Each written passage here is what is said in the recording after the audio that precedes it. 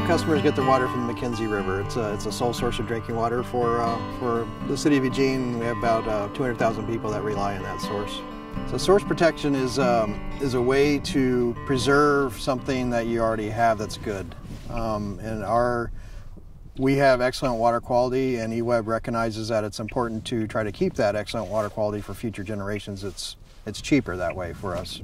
Yeah, threats to uh, to the McKenzie water supply um, range from uh, tanker trucks carrying hazardous materials, uh, getting in accidents, spilling their loads, to industrial discharges, to uh, development on the river, septic systems, agriculture, uh, runoff of pesticides from uh, agriculture and forest operations, um, urban runoff from East Springfield uh, during storms from roads and parking lots. There's a couple of problems that, that you have when you try to engineer solutions uh, rather than just prevent them from happening in the first place.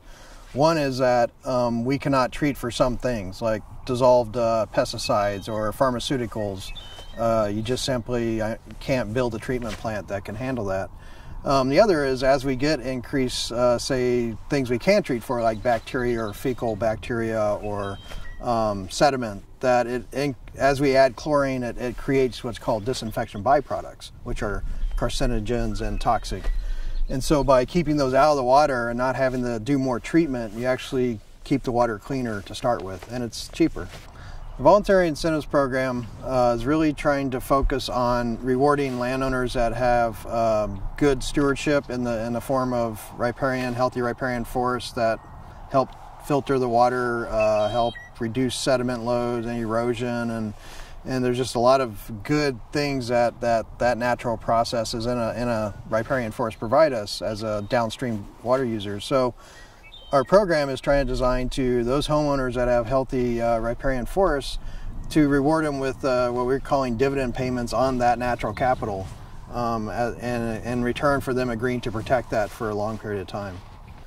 Well, right now, um, as we look at it, about 55% uh, of the riparian area is not, in our minds, is not healthy. Uh, it's been degraded or it's been impacted in some way. And so, really, our focus is trying to maintain at least the 45% that is still in good, good intact shape.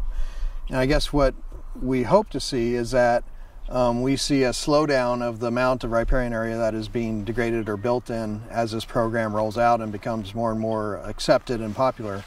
And maybe even a restoration of the stuff that is degraded to to enter the program at some future date. So, um, well, I think uh, you know one of the things that, that I've learned over time is that you know people don't do things intentionally as landowners, so they don't degrade their land thinking, oh, I want to, you know, do this to impact the river or anything. So I think, you know, this type approach uh, will help us um, work with landowners better over time, and uh, and understand kind of their perspective, and they understand our perspective better over time, and uh, and uh, hopefully that helps all of us. So our hope is that um, you know as as uh, that as uh, more and more people participate in the program, uh, that and their neighbors become more interested in, in what we're doing, but yet they don't have the, the riparian conditions to enter the program, that they will then be interested to, to get help to, to restore what their riparian area looks like to be able to enter it at some point in the future. I think you know the, the exciting thing is that we are looking at um, setting up kind of block funds or funding that will help landowners easily access the tools they need to restore their lands and, and become part of this uh, voluntary incentives program.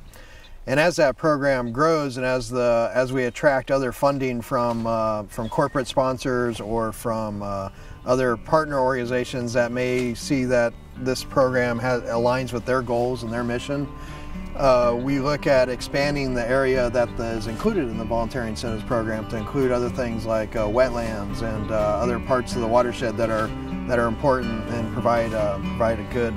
um, function for or uh, processes that help keep the, the water clean and, and the watershed healthy.